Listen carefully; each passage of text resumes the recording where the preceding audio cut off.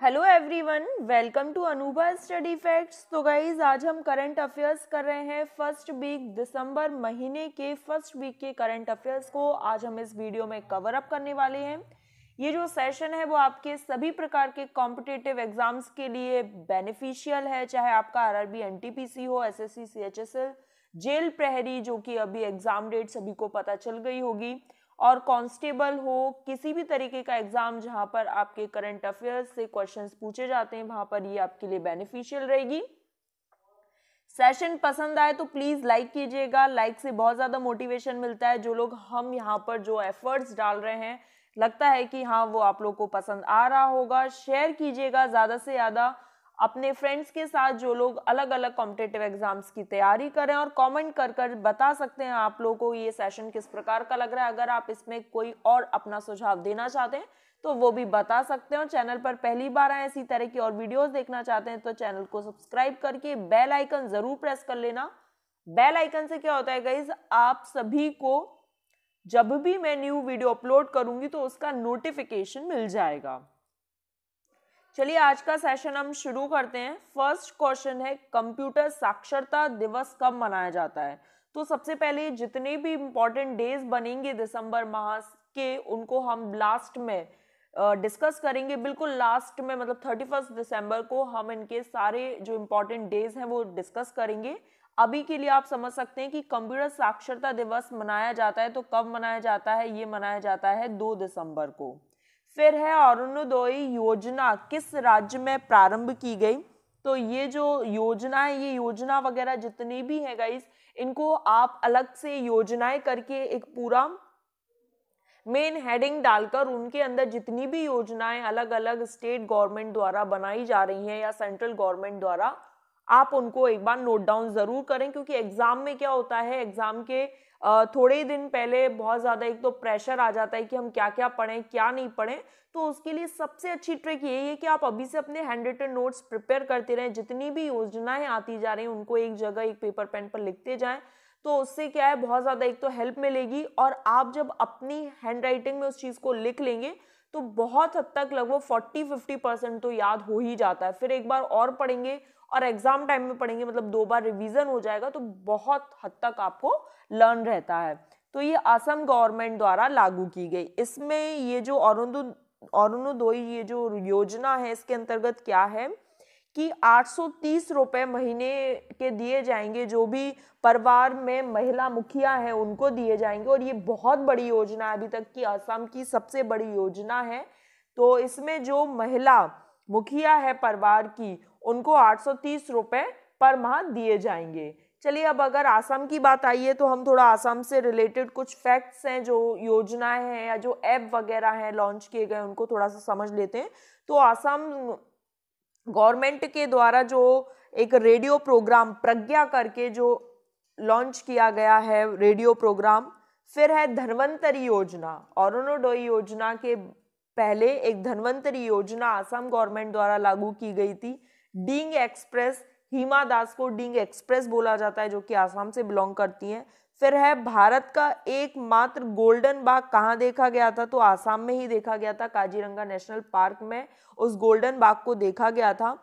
और आसाम का जो नेशनल पार्क है, वो कौन सा है? काजीरंगा नेशनल पार्क जो कि एक सींग वाली गेंडे के लिए प्रसिद्ध है। तो आसाम से इतने कुछ पॉइंट्स आप लोगों को याद रखने हैं। फिर बात आती है फाइजर वैक्सीन को मंजूरी देने वाला जो पहला देश है, वो कौन सा है? यूनाइटेड किंगडम यूके है। आगे बढ़ जाते हैं। शहद उत्पादन के लिए पाँच राज्यों में honey farmer producer organisation programme का उद्घाटन किसके द्वारा किया गया? तो वो किया गया नरेंद्र सिंह तोमर जी के द्वारा। नरेंद्र सिंह तोमर कौन है? तो एक तो ये कृषि मंत्री हैं और केंद्रीय खाद्य प्रसंस्करण मंत्री हैं। एक तो कृषि मंत्री और एक है कि यही मतलब नरेंद्र सिंह तोमर जी ही केंद्रीय खाद्य प्रसंस्करण मंत्री हैं। ये बहुत ज़्यादा इंपॉर्टेंट है। मरियम बेबस्टर ने किस शब्द को 2020 का वर्ल्ड ऑफ़ द ईयर घोषित किया है? तो पैंडेमिक वर्ड। किसको? पैंडेमिक वर्ड को। मरियम बेबस्टर ने किस शब्द को 2020 और आप मुझे कमेंट सेक्शन में बताएँगे कि क्वारंटाइन को किस डिक्शनरी के द्वारा 2020 का वर्ल्ड ऑफ़ द ईयर कहा गया? ठीक? नेक्स्ट है मिशन ओलंपिक इकाई में किस खिलाड़ी को अमेरिका में एक महीने के प्रशिक्षण शिविर की मंजूरी दी गई है? तो किसको दी गई है? बजरंग पुनिया को। आगे बढ़ जाते हैं। खाड़ी देशों का पहला कोयला आधारित पावर प्लांट स्थापित किया जा रहा है तो यूएई में। ठीक? सबसे तेज बाईस हज़ार इंटरनेशनल रन बनाने वाले विराट कोहली। जो क्रिकेटर बने, वो कौन है? विराट कोहली। इस तरीके से भी आपको एग्ज़ाम में क्वेश्चन देखने को मिल जाते हैं। तो ये एग्ज़ाम के पॉइंट ऑफ़ व्यू से इंपॉर्टेंट है। तिरुमाला पहाड़ियों पर बस चलाने की घोषणा किस राज्य सरकार के द्वारा की गई? तो ये की गई आंध्र प्रदेश सरकार के द्वारा। किसके द्वारा की गई? आंध्र प्रदेश सरकार के द्वारा। आगे बढ़ जाते हैं। राष्ट्रीय प्रदूषण नियंत्रण दिवस कब मनाया गया? तो 2 दिसंबर। 2 दिसंबर को ही क्या मनाया गया था? अभी हमने पढ़ा था कंप्यूटर लिटरेसी डे। और क्या मनाया गया? तो राष्ट्रीय प्रदूषण नियंत्रण, नेशनल पॉल्यूशन कंट्रोल डे। किस राज्य को लगातार छठवीं वर्ष देश में अंगदान करने में सर्वश्रेष्ठ राज्य घोषित किया गया? तो किसको किया गया? तमिलनाडु को। अब तमिलनाडु से कुछ इंपॉर्टेंट फैक्ट्स यहाँ पर बनते हैं तो उनको हम यहाँ पर कवर अप कर लेते हैं कि हल्दी अनुसंधान संस्थान की स्थापना की जाएगी तमिलनाडु में। बाज़ार कर्ज के मामले में शीर्ष पर है अकॉर्डिंग टू अगर हम आरबीआई रिपोर्ट के के अकॉर्डिंग माने तो बाज़ार कर्ज के मामले में तमिलनाडु राज्य शीर्ष पर है और मछली उत्पादन में शीर्ष पर रहा इसने, गुजरात को पीछे छोड़ा मछली उत्पादन में। इतनी बात हमें तमिलनाडु से और याद रखनी है। फिर है एक मुश्त बिजली बिल निपटान योजना। ये देखिए, जितनी भी योजना है, आप अलग से एक पूरा पेपर लेकर या रजिस्टर जिस पर भी आप अपने नोट्स बनाते हैं, ये जितनी भी योजनाएँ आ रही हैं, वो सभी बहुत ज़्यादा इंपॉर्टेंट है एग्ज़ाम के पॉइंट ऑफ़ व्यू से तो आप सभी को एक साथ लिख लीजिए और उनके सामने स्टेट का नाम लिखिए। और मैं आपको सेशन में भी कराऊँगी अलग से पूरी जितनी भी योजनाएँ हैं, वो मैं एक अलग से वीडियो में आपको कराऊँगी। अगर आप जानना चाहते हैं तो मुझे कमेंट सेक्शन में बताइएगा कि आप करा दीजिए। एक मुश्त बिजली बिल निपटान योजना का जो शुभारंभ है, वो किस सरकार द्वारा किया गया? तो गोवा के द्वारा। नेक्स्ट है, देव दीपावली दिवस महोत्सव किस राज्य में आयोजित किया गया? तो वाराणसी में। कहाँ पर किया गया? वाराणसी में। यूएस एयर क्वालिटी इंडेक्स में दुनिया का सबसे प्रदूषित शहर कौन सा बन गया है? तो वो बना है लाहौर, दुनिया का सबसे प्रदूषित शहर। नेक्स्ट है, द्वारे सरकार अभियान किस राज्य में शुरू किया गया? तो पश्चिम बंगाल में। द्वारे सरकार जो अभियान है या जो योजना वगैरह होती है, मैंने आपसे, मैं बार बार कह रही हूँ, इनको ज़रूर एक अलग से आप लोग नोट डाउन करते रहिए। अब पश्चिम बंगाल की बात आई है तो पश्चिम बंगाल की कैपिटल क्या है? कोलकाता। कोलकाता किस नदी के किनारे बसा हुआ है? तो हुगली नदी। यहाँ की सीएम कौन है? ममता बनर्जी। गवर्नर कौन है? जगदीप धनखड़। संधाने ऐप पश्चिम बंगाल के द्वारा लॉन्च किया गया। उसके बाद national park Sundarban national park है, बक्सा नेशनल पार्क है। उसके बाद जो एक और योजना चालू की गई, वो है मातर स्मृति योजना। स्नेहर पौरुष योजना और प्रोचेष्टा योजना। ये तीन योजना और आपको याद रखनी एग्ज़ाम के पॉइंट ऑफ़ व्यू से इंपॉर्टेंट रहेंगी। तो मातृ स्मृति योजना, स्नेहर पौरुष योजना और प्रोचेष्टा योजना, ये आपके एग्ज़ाम के पॉइंट ऑफ़ व्यू से बहुत ज़्यादा इंपॉर्टेंट रहेंगी। तो पश्चिम बंगाल से इतने फैक्ट्स आप लोगों को और याद करने हैं। फिर है, छोटे जानवरों के लिए पहला इको ब्रिज कौन सा? इको ब्रिज का उद्घाटन। किस राज्य में किया गया तो जो इको ब्रिज है, वो क्या काम करेगा? जो छोटे जीव होते हैं, जैसे रेप्टाइल्स जिन्हें हम सरीसृप बोलते हैं तो वो जब रोड को क्रॉस करते हैं तो दुर्घटनाग्रस्त हो जाते हैं। तो उस, उन जीवों की लाइफ सेफ़ करने के लिए उत्तराखंड गवर्नमेंट के द्वारा एक ब्रिज जिसका नाम है इको ब्रिज का उद्घाटन किया गया तो by the Uttarakhand government Uttarakhand से अब हमें क्या क्या याद रखना है? एक तो कोरोना वायरस पोर्टल, एक दृष्टि नाम का पोर्टल लॉन्च किया गया था, जो कि सटीक जानकारी देने के लिए हेल्पफुल है। बेरोजगार युवाओं के लिए होप पोर्टल। कौन सा? Hope portal. भारत का पहला लाइकेन पार्क कहाँ है? तो उत्तराखंड में है। जिम कॉर्बेट नेशनल पार्क कहाँ पर है? तो उत्तराखंड में है। और सबसे पुराना नेशनल पार्क कौन सा है? तो जिम कॉर्बेट नेशनल पार्क, जो कि कहाँ है? उत्तराखंड में। और फूलों की घाटी उत्तराखंड। तो गाइज़ ये इतने सारे इंपॉर्टेंट फैक्ट्स बन जाते हैं एक एक स्टेट से। तो आप चाहें तो अलग से एक एक स्टेट का नाम लिखकर वहाँ पर जितनी योजनाएँ, जो भी कोरोना के रिगार्डिंग ऐप लॉन्च किए गए, या फिर जो भी ऑनलाइन स्टडी के लिए ऐप लॉन्च किए गए, जितनी भी योजना वगैरह हैं नेशनल पार्क हैं, वो सभी आप नोट डाउन कर सकते हो। और अगर आप चाहते हैं कि मैं अलग से एक वीडियो इस पर बनाऊँ तो let me know in comment section next है आदि महोत्सव मध्य प्रदेश का जो शुभारंभ है, वो किसके द्वारा किया गया? तो जनजातीय मंत्री अर्जुन मुंडा जी के द्वारा किया गया। माउंट इली लेबोटॉक ज्वालामुखी फटा तो कहाँ पर? इंडोनेशिया। इंडोनेशिया से आप एक और चीज़ याद रख सकते हैं कि 80 से लेके 90 प्रतिशत तक जो ज्वालामुखी है, वो इंडोनेशिया में ही फटते हैं। तो अगर ऑप्शन में इंडोनेशिया है और आपको अगर कंफ्यूजन है कि कौन से देश की तरफ़ मैं टिक लगाऊँ तो एक बार आप इंडोनेशिया की तरफ़ जाकर देखिए, अगर ऑप्शन में इंडोनेशिया है तो आप टिक लगा सकते हैं अगर आपको कंफ्यूजन हो रहा है, क्योंकि 80 टू 90 परसेंट जो है, ज्वालामुखी इंडोनेशिया में ही फटते हैं। विश्व मृदा दिवस कब मनाया जाता है? तो पाँच दिसंबर, मृदा दिवस soil day Horlicks protein plus का ब्रांड एम्बेसडर किसे बनाया गया? तो अक्षय कुमार जी को बनाया गया हॉर्लिक्स प्रोटीन प्लस का ब्रांड एम्बेसडर। किस राज्य ने राज्य की समर, संपूर्ण जनगणना को कवर करने के लिए स्वास्थ्य साथी योजना?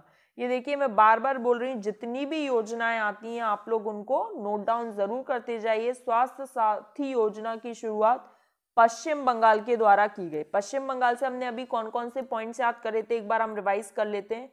एक तो इसकी कैपिटल क्या है? कोलकाता। किस नदी पर बसा है? तो हुगली नदी पर। सीएम कौन है? ममता बनर्जी है। गवर्नर कौन है? जगदीप धनगढ़ है। संधानी ऐप लॉन्च किया गया। सुंदरवन नेशनल पार्क है। बक्सा नेशनल पार्क है। उसके बाद मातृ स्मृति योजना, स्नेहर पौरुष योजना और प्रोचेस्टा योजना। ये सब बंगाल पश्चिम बंगाल गवर्नमेंट के द्वारा लागू की गई थी। चलिए आगे बढ़ जाते हैं। वायु प्रदूषण के कारण विश्व की पहली मृत्यु कहाँ दर्ज की गई? तो किस देश में? ब्रिटेन में। वायु प्रदूषण के कारण पहली मृत्यु कहाँ पर दर्ज की गई? वायु प्रदूषण के कारण तो ब्रिटेन में। न्यूजीलैंड के किस क्रिकेटर ने सेवानिवृत्ति की घोषणा की है? तो कॉरी एंडरसन ने। देखिए, ये एक तो ये याद रखना है कि कॉरी जो, कॉरी एंडरसन है, वो कहाँ के क्रिकेटर हैं, किस देश के? तो न्यूजीलैंड के, और न्यूजीलैंड के किस क्रिकेटर ने सेवानिवृत्ति की घोषणा की? तो कॉरी एंडरसन ने। नेक्स्ट है, किस राज्य के दादू पर रेलवे स्टेशन का नाम बदलकर माँ बाराही देवी धाम कर दिया गया। तो बायदी उत्तर प्रदेश, अब उत्तर प्रदेश की बात आई है तो हमें कुछ इंपॉर्टेंट फैक्ट्स उत्तर प्रदेश के भी याद रखने कि उत्तर प्रदेश गवर्नमेंट के द्वारा कौन कौन सी चीज़ें लागू की गई। तो सबसे पहले तो जो उत्तर प्रदेश है, उसकी राजधानी क्या है? लखनऊ। गोमती नदी के किनारे बसा है। सीएम कौन है तो? योगी आदित्यनाथ। गवर्नर कौन है तो? आनंदीबेन पटेल। अब यहाँ पर और चीज़ें, बाल श्रमिक विद्या योजना नवीन रोज़गार छतरी योजना, प्रवासी राहत मित्र ऐप, आयुष कवच ऐप, ये जो ऐप है वो भी थोड़ा सा आप याद रखिएगा कौन कौन से? प्रवासी राहत मित्र ऐप और आयुष कवच ऐप। और है मुंडा दीह रेलवे स्टेशन का नाम बदलकर बनारस रेलवे स्टेशन रखा गया। ये आपको सभी याद होने चाहिए और हर्बल रोड प्रोजेक्ट जो है वो भी उत्तर प्रदेश के द्वारा लॉन्च किया गया इसमें क्या है कि जो दोनों साइड रोड के दोनों साइड हर्बल प्लांट्स लगाए जाएँगे। हर्बल प्लांट्स मतलब ज, ऐसे प्लांट्स जिनसे औषधि प्राप्त होती हो। ठीक? और नेशनल पार्क में आप पीलीभीत टाइगर रिज़र्व याद रख सकते हैं। तो हमें उत्तर प्रदेश से इतने सारे पॉइंट्स याद हो गए होंगे। भारतीय सेना का जो उप प्रमुख है, वो किसे नियुक्त किया गया? तो लेफ्टिनेंट जनरल परमजीत सिंह को। लेफ्टिनेंट जनरल परमजीत सिंह को भारतीय सेना का उप प्रमुख नियुक्त किया गया। किस राज्य सरकार ने इलेक्ट्रॉनिक वाहन फॉरम, इलेक्ट्रॉनिक वाहन फॉरम शुरू किया? तो by the Delhi government.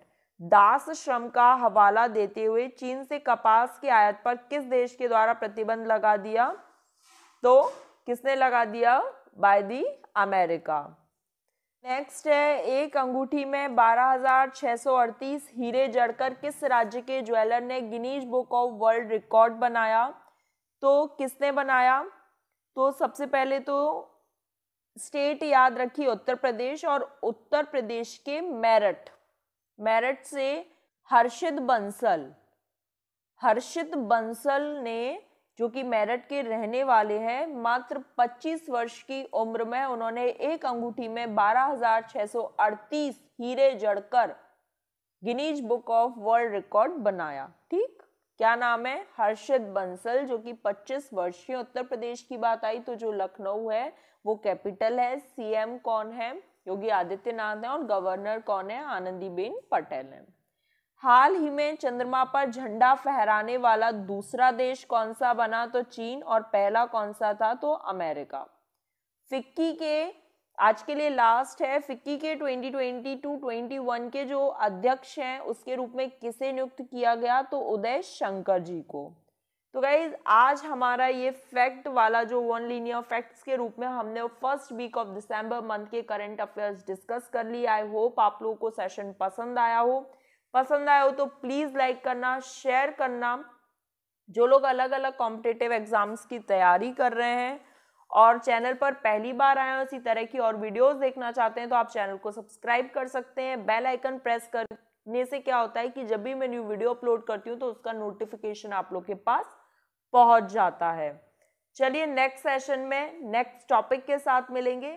Thanks for watching this video